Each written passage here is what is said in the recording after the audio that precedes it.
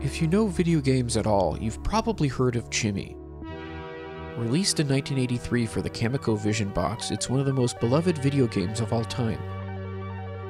But don't let the simple graphics and cute character design fool you, it's taken very seriously in the gaming community. In fact, over the past 15 years, gamers from across the world have been competing with each other to beat it as quickly as they can. To say that this quest for the Chimmy World record is full of drama would be an understatement. Let's see how it all went down.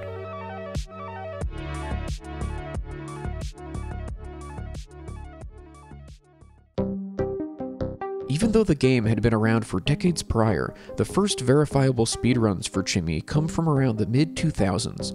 During this period, the world record went back and forth between three gamers Mumo, Mimo, and Big Ass Yellowy Dildo. Only one video from this era has survived, from March 29, 2005, when the record was set by Big Ass Yellowy Dildo. Could you just stop eating your butterscotch so close to me? I'm about to get the world record. But it's so good. Here, have some. No, just get no, get that out of my face.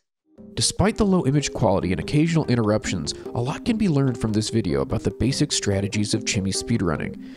Avoiding the holes by taking the northern route, moving diagonally to achieve purple, and the biggest revelation, circling the well to maximize top speed. So you're just going around in a circle? Won't that waste time? It makes Jimmy go faster. Jesus, butterscotch should not smell like that. Well, a lot of it fell on the floor, and then the uh, dog slept in it, but then I scooped it all back into the big, big jar, so it should be fine. That jar's not that big. Why do you always say that? Yes, it is. No, it isn't. Yes, it I've seen bigger jars than this. The record time achieved by Big Ass Yellowy Dildo in this video was 19 minutes and 2 seconds, a time that for years seemed unbeatable. Or at least, that's what they thought in America. On June 9, 2008, a world record video from the Eastern European nation of Bustavia was posted on hugenewschimmyworldrecordtime.com. It was a jaw dropping time of 17 minutes and 21 seconds from a player by the name of King Fuckhead. Okay, here it goes. Final boss battle. Here. Oh! Hmm! That is world record! That is freaking world record! I did it! I freaking oh! Eat my nutsack! Eat my freaking nutsack, dude, because that is world record! That is world record shit, and you can eat my nutsack all freaking day! All freaking day! Yes! The celebratory response to King Fuckhead's world record time on the message boards was nothing short of ecstatic. Congratulations and praise poured in from all around the globe. With its first major world record in speedrunning, Bustavia had been put on the map, and its golden boy King Fuckhead was on top. That is, until Tootie Boy came along. Just five years after King Fuckhead's run, a player known as Tootie Boy did the unthinkable. He posted a time of 1658. With nobody having even come close to King Fuckhead's 1721 for half a decade, a sub 17 minute time came as an earth rattling shock that woke up the world. To many in the Chimmy community, this was the equivalent of not just learning that God was dead, but finding his bloody corpse on your doorstep, along with a suicide note that was just your name written over and over again. How could something like this happen? Well, Tootie Boy's historic time was thanks to one groundbreaking new strategy, known as appling. This technique lets Chimmy eat the apples that are occasionally on screen, which gives him a boost in speed. Prior to this discovery, all previous Chimmy speedrunners avoided the apples, assuming they were poisonous like in Snow White and thus would kill Chimmy. With appling alone, Tootie Boy shaved off more than 20 seconds from King Fuckhead's time. Yes. Yes. Yes.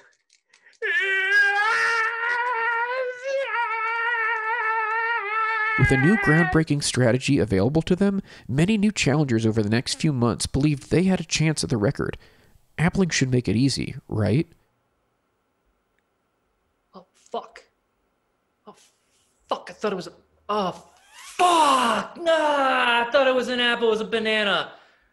Uh, apples and bananas look the same to me. Wrong.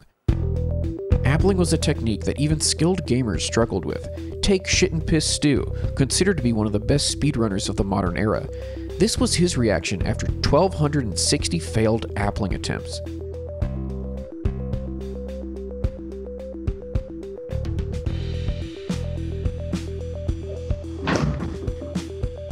And Piss Stew is not technically dead, but he has been frozen in that position ever since.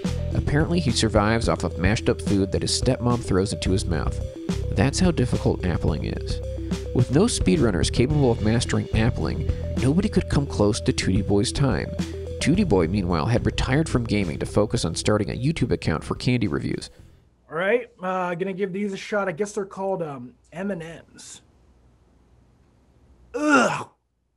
Yeah, freaking nasty.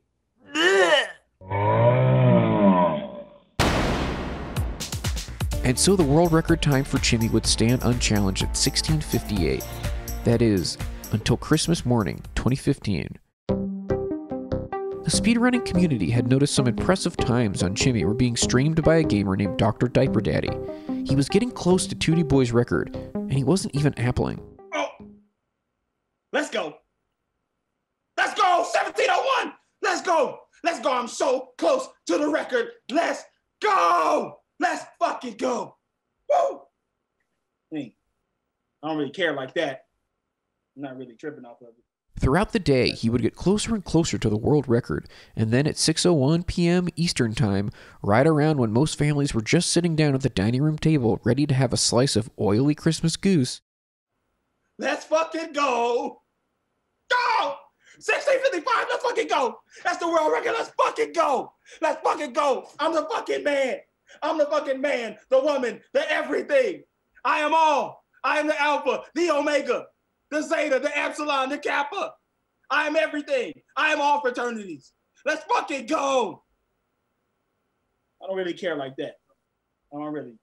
It don't really bother me. Just Dr. Diaper Daddy had done it. 1655, a full three seconds better than Tootie Boy's long standing record, and he wasn't even circling the wells or appling.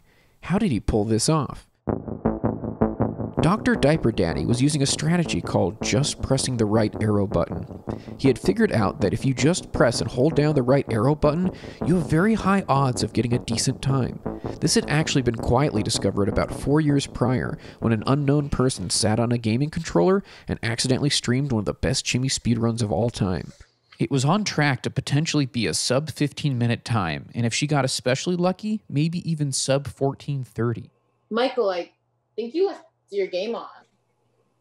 But if you pay careful attention to the video, you'll notice the gamer actually stands up and leaves the room, in effect, releasing the right arrow button and ending the run. With a new strategy discovered, speedrunners flocked back to Chimmy in droves.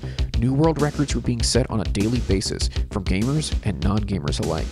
1640! Hooray! 1630! Yeah!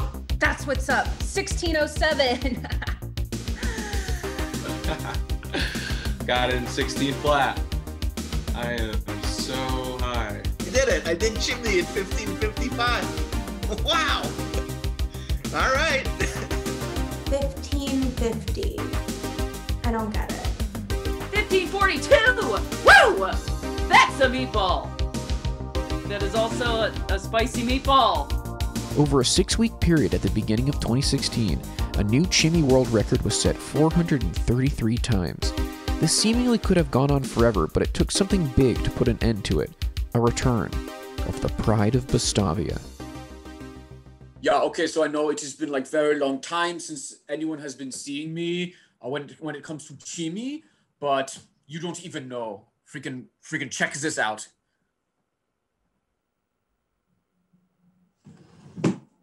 That freaking is one second!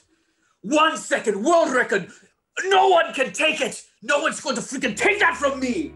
I am the freaking champion! You want to eat breakfast? Okay, that sounds good. Why don't you go to buffet, open lid, you want scrambled egg? It is my knapsack! It is my freaking knapsack! Because I am the number one champion now forever. Try to even come at me. You can't! That is not how it goes! Eight years after his first Chimmy world record, 33 years after the game itself was released, King Fuckhead had finally done it. He had discovered that the game was designed on a loop, so if you just went left at the beginning, it would automatically take you to the end, triggering that the game was over. It was physically impossible to improve upon this score. Others could replicate it, but King Fuckhead was first. The Golden Boy of Bustavia was the Chimmy World Champion once and for all.